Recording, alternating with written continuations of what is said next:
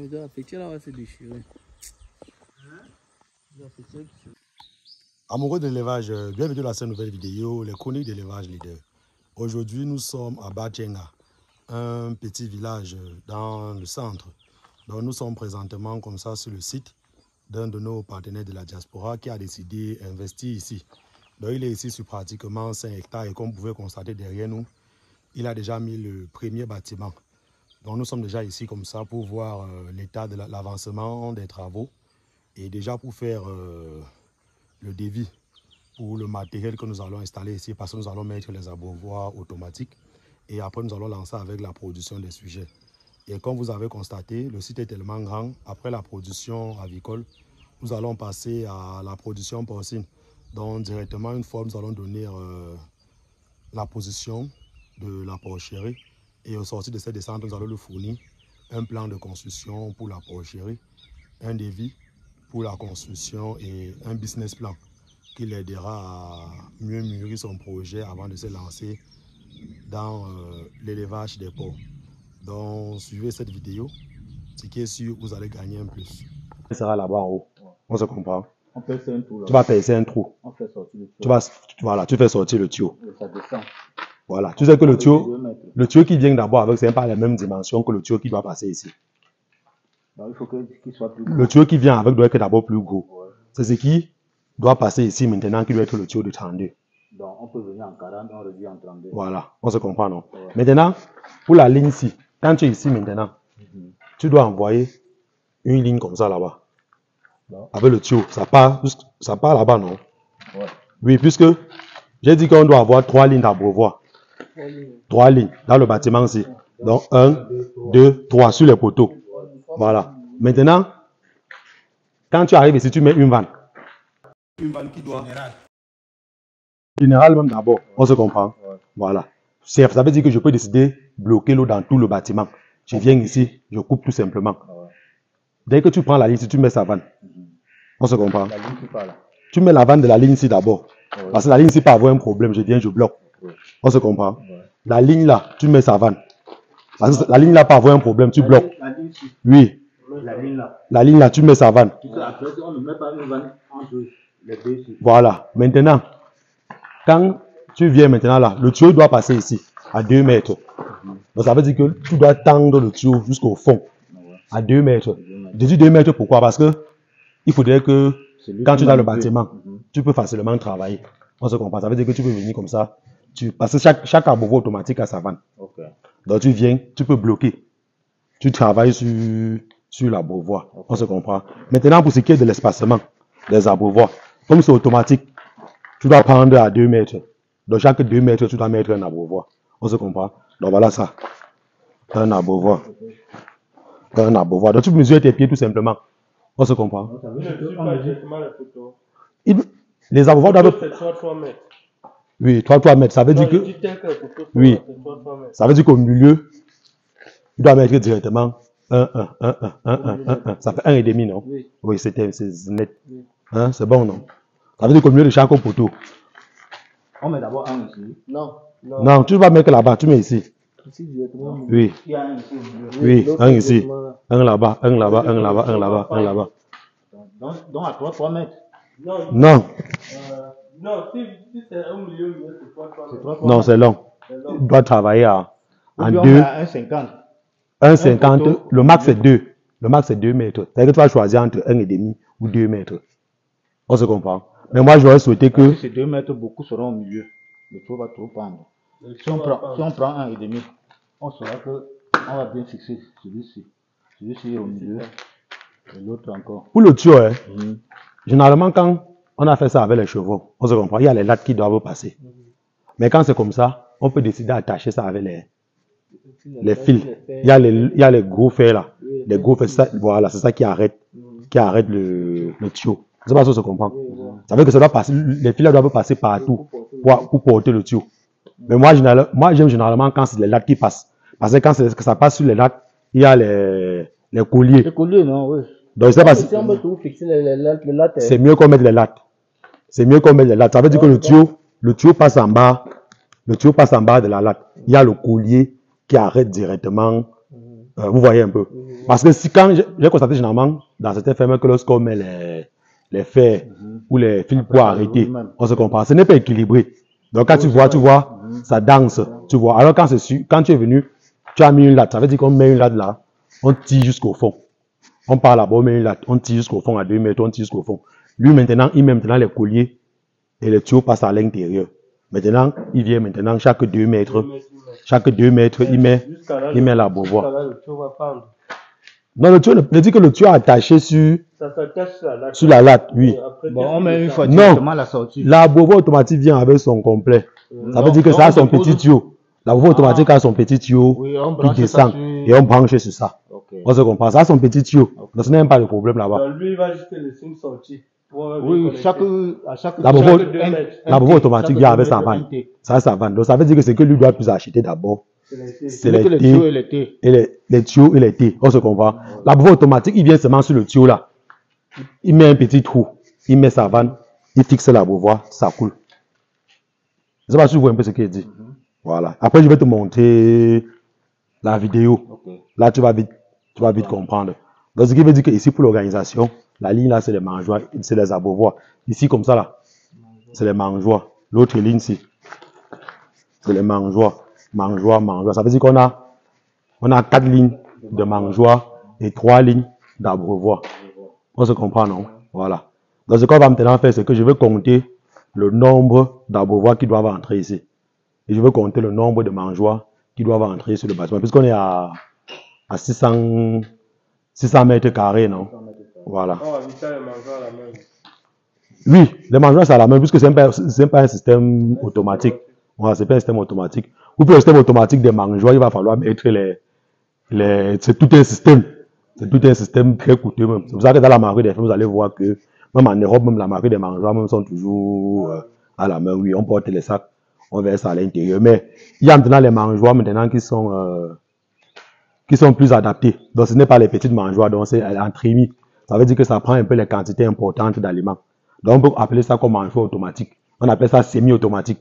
Parce que tu mets peut-être, ça peut prendre, il y a des mangeoires qui prennent les 10 kilos d'aliments, les 15 kilos d'aliments. Donc, c'est pas, on appelle ça semi-automatique. Voilà. Tu as lancé, non? Tu lances après, ça ne descend plus. Voilà. pour que Voilà. Il comprend facilement. Donc, ça veut dire que s'il ne met pas ça, ça veut dire qu'il y aura des jours que, Oui, quand l'eau doit finir complètement dans les bacs, on charge même. On se comprend. Tu dois charger. si peut-être que tu es un baba ou un gars qui ne réfléchit pas trop ici là, que peut-être que tu as mis tes pondeuses, il charge lui, peut-être il a assis, il a pu boire son vin, il se dit que non, comme il a déjà chargé, il y a l'eau dans le bâtiment. Parce qu'on n'a pas peut-être que prévu il faut puiser. Ça veut dire que si tu ne prévois pas ça, il y aura des jours que il doit charger même le bac comme ça. Même jusqu'à 15 heures, l'eau ne doit pas entrer dans le bâtiment. Il faut seulement partir puiser avant que ça, ça coule. Donc il faut pas oublier ça. Donc, quand, voilà, tu as tout compris. Il faut la zone d'évacuation. Oui, il faut puger. Il il faut, il faut la zone pour évacuer les gaz. Et même au fond là-bas, comme je dis, ça veut que la ligne ici là, quand ça part comme ça, au fond là-bas, ça sort. Chaque ligne. Chaque ligne sort. Ça veut dire qu'on peut décider peut-être vider le bac. Il vide peut-être que là-bas au fond. Il vide la ligne, il vide la ligne là. Parce que parfois, il y a aussi le nettoyage des, des tuyaux. Tu vois, si tu ne prévois pas la zone pour nettoyer les tuyaux, c'est un problème. Parce qu'il y a certains produits parfois que tu vas mettre dans l'eau, qui sont un peu très visqueux, ça va partir caler. Il faut maintenant mettre un désinfectant ou un truc pour, pour nettoyer ça. Donc c'est aussi très important. Je, je pense que c'est bon, non, le vieux? Maintenant, il avait un souci aussi. Oui. Comme on a deux bacs qu'on va mettre à l'intérieur là, Mhm. et il va diviser, sectionner en, en, en, en plusieurs Quand il y a deux compartiments. bras en haut, Oui. ça devient un, bac, pas deux bacs. Oui, je tiens à te dire ceci. Mhm. Si maintenant il veut donner le produit à la salle de du fond, Oui. que ça ne que, que ceux d'ici ne doivent Attends, si je comprends, ça veut dire que lui, il veut diviser le bâtiment c'est en deux. Lui, il veut lancer en vague. En vague? Oui. Quoi, pour les déchets ou les pondeuses? Veut les chairs d'abord. Pour les déchets en vague. Oui. Nous, n'a pas besoin de diviser. Il n'a pas besoin de diviser. Il fait avec les contreplaquets. Lui, il va faire les contreplaqués. Oui. Et Dieu, maintenant, au moment de donner peut-être l'eau, Oui. le, le produit dans l'eau. D'abord, un, tu vois, quand c'est comme ça, Mhm. tout le bâtiment, c'est mieux que tout le bâtiment soit sur le système automatique. On se comprend? Mhm. Maintenant, s'il veut maintenant faire une vague, une autre vague, il peut travailler là-bas en manuel. Il vient charger lui-même avec. euh, Voilà. Au début, il peut travailler en manuel. Tu comprends? Oui. Il travaille en manuel. Mais, mais tout le bâtiment est sur le système automatique. Mais s'il veut faire une autre vague, la vague là peut fonctionner en, en manuel. La grande vague fonctionne en automatique. Parce qu'il y a un moment où lorsque les sujets seront adultes, il va falloir lancer peut-être que l'eau à tout le bâtiment, l'eau euh, l'eau simple à tout le bâtiment. Il y a certains médicaments qui peuvent mélanger d'un aux deux bandes. Mais c'est mieux que bande fonctionne en automatique, l'autre fonctionne en manuel, mais que tout le bâtiment soit en système automatique. Je sais pas si tu vois un peu ce que je dis. Parce que si déjà il veut faire ça, ça va embrouiller. Ça va embrouiller le système. Et le projet même, c'est qu'à la longue, il lance tout dans le bâtiment. Mais pour un début, il faut qu'il fonctionne en automatique et manuel. Ça va, tu vois un peu. Oui. Je comprends, mais ça veut dire que, Ici, comme j'ai cassé là, c'est parce Oui. qu'on a raté la, la chape. oh, hmm, tu mets plutôt comme ça. Oui. On va seulement nettoyer sinon pour que l'eau passe normalement. Ici, c'était un peu levé. Donc ça veut dire que tout le bâtiment, si on veut commencer là-bas, ça va se nettoyer comme ça. Si c'est nettoie comme ça. Si c'est nettoie comme ça. Ah, ok, je vois.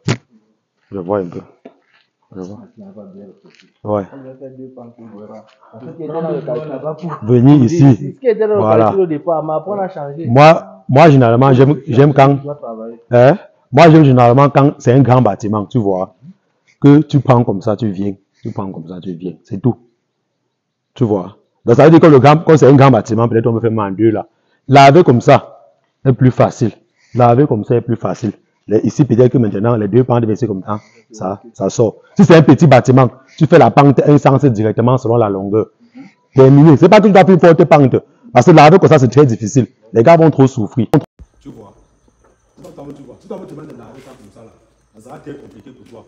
Quand tu seras en train d'avancer, le sera en train d'avancer, tu seras en train d'avancer, le sera en train d'avancer. Maintenant, si tu as commencé là-bas au fond, c'est que voici ta pente ici. Tu tires comme ça, là, tu laves, après tu balayes. Tu pars là-bas, tu tires, tu laves, tu. Tu vois que c'est. Laver le bâtiment devient très facile.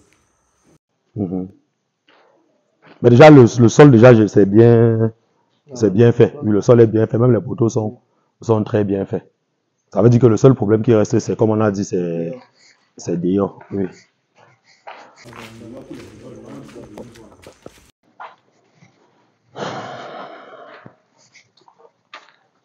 Mhm. Alors, tu vois que comme, quand le bâtiment est, est assez grand, est assez grand, donc tu vois comment les eaux stagnent déjà là. Ça veut dire quand c'est comme ça, le mur, le mur n'est pas protégé. Ça veut dire qu'à la longue là, ça va vite, ça va vite disparaître, ça va vite se gâter. Donc il est préférable que qu'ils viennent là, qu'ils fassent une, une véranda, qu'ils fassent une véranda, et après la véranda, ils mettent la rigole. J'ai expliqué déjà comment on doit mettre la rigole. Comme il pleut même déjà là, c'est facile. C'est facile de voir la rigole. Ça veut dire que quand, quand les pluies quittent du toit, ça tombe. Comme la ligne là. Ça veut dire que la ligne que, la pluie a donnée là, ça, doit être le milieu.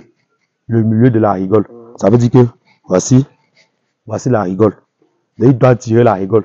Maintenant, pour éviter maintenant qu'il fasse euh, une grande pente sur, sur la rigole. Parce que quand le bâtiment est grand, s'il veut tirer ses mains jusqu'à envoyer au fond là-bas, il y aura une place que ça, ça sera comme une fosse. Tu vois? Donc c'est mieux qu'il fasse ça en deux. Ça veut dire qu'il prend encore au milieu, comme j'expliquais là-bas. Il prend, il envoie comme ça. Il prend là-bas, il envoie comme ça. Là, ça devient, ça devient facile. Vous voyez un peu? Oui. Il faut ça, hein, c'est parce que le bâtiment est grand. Sinon, vous voyez comment ça fait là, non, ça va gâter, c'est pas bon. Ça, c'est un très grand bâtiment. Et quand vous voyez, même, ce sont les, ce sont des très lourds investissements. Mhm.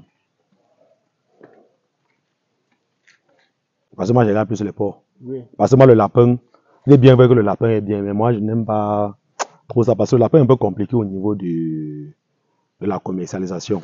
Tu vois. J'ai constaté que généralement, la marque, les gens qui font les lapins, quand ils produisent, c'est bien. Ça se reproduit vite, l'élevage est bien, mais au niveau de la commercialisation, pour savoir que le lapin est dur, je te pose ma question. Par exemple, ça fait combien de temps tu n'as pas mangé le lapin? Hein? Tu vois que c'est- tu, tu vois que c'est un problème. Hein? Il, il reste à savoir s'il a même déjà mangé le lapin. Hein? C'est par là qu'il faut déjà savoir ce qu'il faut produire. fait pour commercialiser. Voilà. Puisque tu, on ne produit pas pour faire plaisir aux gens. C'est un business.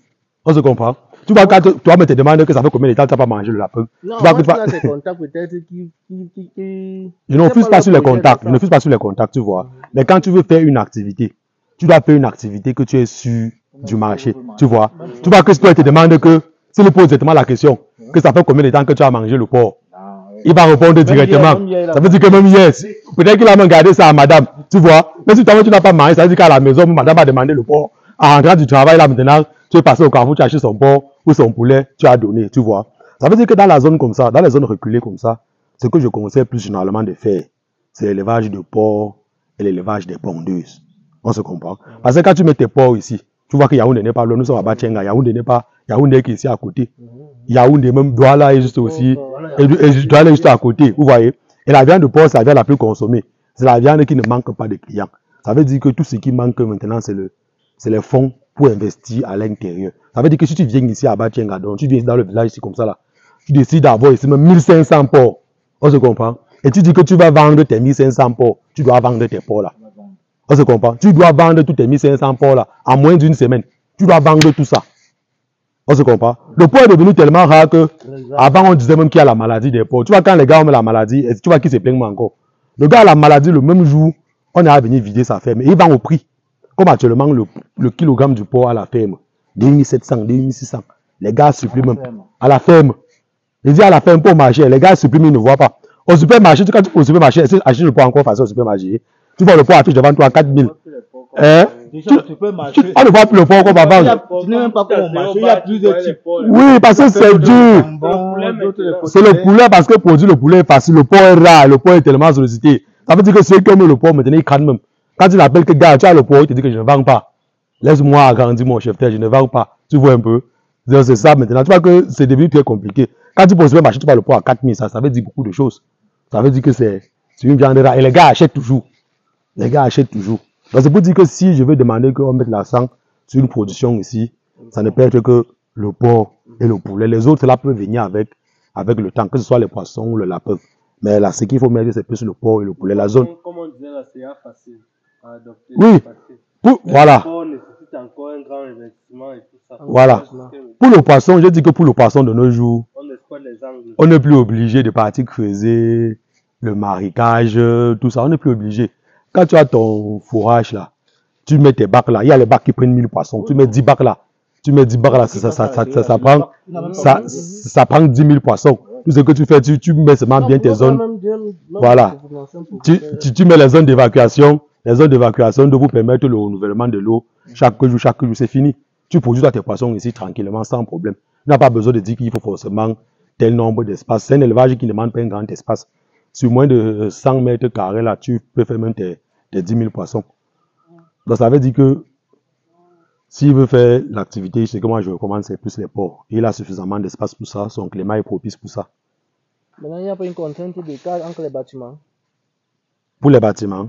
Pour les bâtiments, il y a ce qu'on appelle la distance de sécurité. On se comprend, non? Donc, généralement, comme le terrain est grand, ça veut dire qu'on peut facilement respecter les 50 mètres de distance de sécurité en fonction des différentes espèces.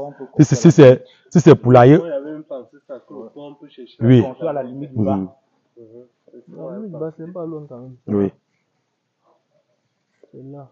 Imagine les Le seul souci, c'est que nous, on pensait mettre un bâtiment ici en face. Oui. Non, ça n'arrache pas. Oui. Maintenant, derrière le bâtiment qui serait ici, Oui. on pourrait aligner. Et le bâtiment du euh, tu bouffes quoi C'est toujours la, la, la, la même propriété ici.